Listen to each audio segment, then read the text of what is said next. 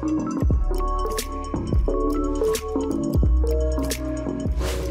guys, alright, so in today's tutorial I'm going to be introducing you to a pretty overlooked feature within Marvelous Designer which is the wind controller. So I'll be showing you how to set up this flag which is really simple to do by the way. I'll show you how we can even modify this flag further by tearing it up a little bit, uh, making it look worn and torn and then um, I'll show you how we can also use the wind modifier uh, to create like this dynamic uh, drapery on characters uh, by making a cape uh, blowing the wind and then I'll also show you how we can actually export this out of Marvelous Designer and take it to other programs that we can render with the render engine of our choice. So I hope you guys are ready. It's going to be a fun tutorial and this is a really cool feature within Marvelous Designer. So I hope you guys are ready and without further ado, let's get started. Okay, so let me show you how I set up this flag and um, okay, I'm going to start completely from scratch. I'm going to go to my display and hide that wind controller and then um, as you can see in the workspace over here here's my uh, flag pole and then I just use the rectangular tool so just draw the rectangle like that you'll see it in your 3d space click in your 3d space and just navigate rotate and bring it into the correct position. Right so I'm not going to use this one. I'm going to go back to this one I've already created over here and to get it back in that default position I'm going to right click go on reset 2D arrangement selected. There we go. I'm going to bring that over here and rotate that into position and again I'm just re reusing this one because I just felt that it was at the correct di dimensions for what I was doing. But again it's so simple. It's just a rectangle guys. Right so once you've got that into position uh, you'll see over here if I zoom in quickly there's these dotted lines. And now this is really important because uh, what we're basically doing here is these corner pieces we're basically tacking it onto our flagpole so that it holds the flag into position uh, at these two particular points uh, we have created it. So in order to do that I'm actually going to delete my tack here at the top uh, you'll see that there's an option called tack on avatar. So go ahead select that and uh, let me delete this first of all. So I'm going to go to edit edit based in right click on here delete and right click delete. Okay so once you guys are on uh, tack on avatar like I said I'm basically tacking the corners onto the avatar. So it's self-explanatory but just to show you you want to select the corner piece over here and then you want to choose where you want to tack that on. Uh, I've got tack on avatar selected right? So click here by the corner. You'll get that dotted line that pops up. Come on. And I want to tack mine onto this area over here so you can see it creates like a connection that's maybe a little bit too far down. So I want to tack it on over there and then here at the bottom I want to tack this uh, onto that area. So I can go ahead if I click on simulation now uh, again this flag's actually blowing if I go to display wind control. Let me turn off the wind for a moment because your your flag's obviously not going to be blowing in the wind like that. So I want to go back to uh, select move select that wind control and just turn off the wind. So this is what you guys are basically going to have. Once you've tacked it on there you're going to have your flag over here. Uh, now it might be a little bit wonky depending on the design of your pole, but if it just starts uh, interacting or going through the pole, obviously just use the simulate the power of simulation to pull it out of the pole. So there we go. You can see that's been tacked onto those areas. That's exactly where I want it. All right. And now from here, um, we're going to be using the wind modifier. So again, you guys have seen where I went. Uh, just to show you again, go to display and click on show wind controller and you're going to get this icon that pops up somewhere in your workspace uh, now I've moved mine uh, over here obviously the, wherever you position this controller is going to determine where the wind is blowing. Again self-explanatory uh, but obviously just going to explain all of this stuff to you. Then yeah we've got the property editor and then you can go ahead click on activate. So you'll see that if we turn on simulation now I've got a flag blowing in the wind. Now obviously yours is probably not going to be blowing as smooth as mine because we have to adjust some settings here but you'll see wherever I move that controller is going to determine where the wind is blowing. So really neat, pretty cool feature if you guys want to simulate wind. And now over here in the property editor, I haven't delved into too much of this stuff, uh, too much, but uh, obviously uh, the type you can choose planar, which is like a planar wind direction, or spherical. Uh, the strength, really important. This is obviously going to determine the strength of our wind. So I found 7,000 to be a good speed. You'll see if I put this on something like 15,000, uh, we're going to get um, this wind that's pretty strong. You can see it's starting to tug on this area quite violently. Um, but if we wanted to make this a really violent uh, looking wind, uh, we'd actually pray, uh, play around with this feature over here called turbulence. So you'll see that I put mine really low so that uh, the wind that's blowing is a little bit more calmer, a little bit more smoother. But if you put this on something like maybe 15, uh, you're going to get some interruptions and turbulence. It's going to be like a really, I'd say maybe a little bit more realistic or bumpy uh, wind uh, animation. But again, I'm not 100% familiar with this terminology.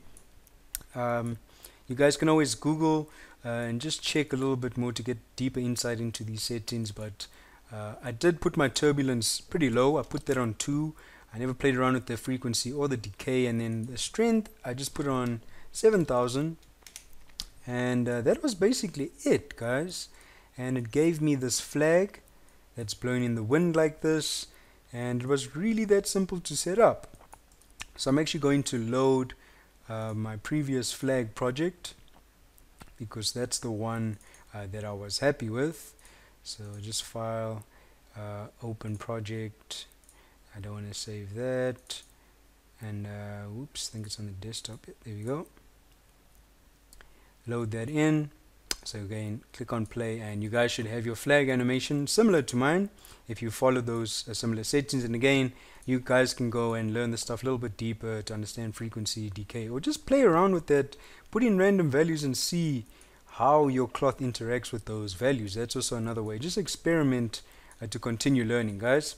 So once you've done that again like I said earlier we can actually export this animation out of Marvelous Designer so once you're ready go to the animation workspace over here. And uh, again we can let this record for as long as we want. So I'm probably going to let mine go up until no just to keep this tutorial. I don't want to make this tutorial too long because uh, this is really simple to explain. Let's just go up until maybe 90 so you guys can make this animation go on for as long as you want. I'll stop over there. What is that?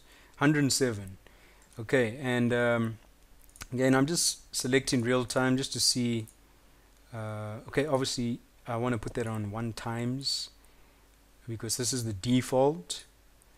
This is probably what it's going to look like it, uh, look like in another 3D program then once I'm done with this go back to simulation select that shape go to file export an alembic HD5F and uh, you'll see it saves it as a .abc file now really important here guys, you want to select this frame relative sample because if you don't select this, it's not going to render out all of those frames. So I noticed that if this is unselected, it only renders out 35 frames. So when you select that, and I leave mine on 30, it's going to render out the entire 107 frames. And then obviously you want to put the scale relative to the scale you used that you uh, imported your flagpole at. So click on OK. There we go, it's saving out all 107 frames of that animation. And just to show you guys, um, I'm using Cinema 4D. I'll go File, Merge Objects, import that. I'm going to import my flagpole first of all. And then I'm going to import the flag blowing in the wind. Now again, I'm not sure with other programs or settings, but uh, just make sure that the frame rate's the same. Uh, my scale is the same scale as the flagpole. Click on OK. Okay, so I'm I'm way off. Um, I think that's because I actually imported my flag at uh, 10 instead of 1. Yeah, there we go. So I was supposed to leave that on 1 and not 10. So I've got it at the same scale. And then uh, we've got 107, so I'm going to put my frames on here 107, click enter, so from 0 to 107 will be our animation. So you'll see if I click on play, we've got a flag in Cinema 4D and then of course I'm using Octane so I can go ahead and uh, apply materials on this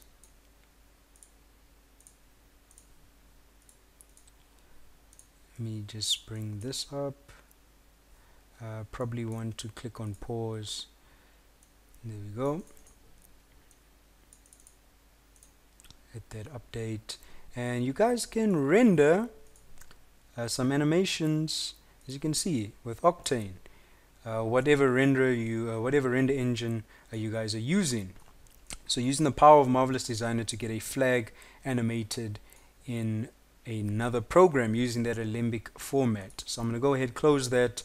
And again if you guys want some more uh, detail with this flag obviously you just select the flag and you can see my particle distance is very high. It's on 30 uh, but again um, it depends. If you're doing a close-up you probably want to maybe reduce that. So maybe you see some more details in those folds. So let's actually put this on like actually no if I if I reduce one particle distance now the simulation time is going to take a lot longer uh, to simulate but it is going to make it more detailed. So that's how you create an animated flag guys. Really simple.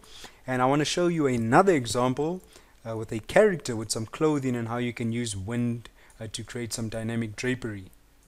Alright guys actually before I get onto the dynamic drapery with the character uh, there's actually some other cool ways you can play around with this flag and I want to show you you can just go in your workspace over here and if we use the add point I'm just going to add a couple of points here. So I'll add three like that three over here maybe three here maybe another three over there. And then if I go to the edit pattern and I select those middle points and I drag this back you'll see that we can maybe start creating what appears to be like a uh, maybe a torn torn flag but obviously you want to go back in here add more points and uh, start playing around with this modifying the shape uh, maybe curving out certain areas modifying the shape uh, to get uh, something that looks a little bit more accurate to something that's torn. Uh, so go ahead do some research to look at torn fabric. Uh, it probably is going to take a little bit of time but as you can see now if I click on simulation now we've got like this torn uh, flag that's just blowing in the wind. So that's like one way we can uh, have some fun with it and create maybe a torn flag. Um, again, maybe you've done that. You can also come back here. I'm using the, sorry, I'm using the uh, internal polygon and sketch some torn pieces in here. Again, this is really random, guys. I'm not using any reference for this. I'm just basically showing you the techniques. And if I select all of these internal shapes, right click, we can convert this to a hole. So you can see we can make it even more uh, more detailed and more complex if you're going for a torn, a torn flag.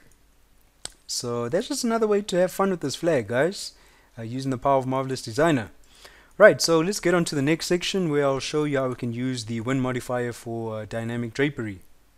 Alright guys, so here's another example. You can see I've created like this hood or uh, this cape for this character and I just want to show you how you can create uh, maybe some dynamic poses for your garments, uh, basically creating this dynamic drapery. So in this case, uh, this can cause some issues because again, when something's blowing in the wind, this is probably going to uh, intersect with the the pants over here in the top. So if you've got some uh, underlying garments like this, what I'll do is I'm going to select all of that. Obviously just, let me just reduce my particle distance. I'm actually going to put both of them on 30 for now just so this runs a bit smoother. Uh, but I'll select this undergarment and uh, I'll right click and go to freeze and I'll just move this out of the way because again I want the wind to interact with our cape over here and then I can bring that back. So again go into uh, display show wind controller there we go it's in our workspace. Uh, we want to go ahead activate that. I'm going to put this on let's say 7000 again. Uh, turbulence quite high 30 again you can play around with that uh, see what it does how it interacts with the garment but now if I click on simulate there we go. So maybe 7000 is a bit too high so let's put that maybe on 3000 uh, but you guys can see and again we can render this out. So maybe there's a there's a character that's maybe you've got a character that's by a cliff or something standing by a cliff and their cape is just blowing in the wind. Or you just have a standalone image we can stop it right over there and we've got it in that motion uh, where the wind was blowing it and then we can increase select that increase the particle distance to get all those nice folds and uh, yeah that's just another way to create some dynamic uh, drapery using the the wind modifier wind controller. And from here again I'm just going to select all of this and I can bring it back. Uh, but obviously I'll bring it back once I get my cape in a position that I'm happy with. And then we can just right click unfreeze and uh, we should be good to go. But that was just another example. And like I said guys you can uh, save whoa Alright, uh, that ass though. but yeah, like I said, guys, uh, you can uh, you can go ahead and uh, render this out as an animation, save it out in that Alembic format, and take it over to other programs. So just a cool way to use Marvelous Designer to actually do animation. So I hope you guys have learned something useful from this. And as always, stay tuned for some more tutorials. Alright, thank you for watching and goodbye.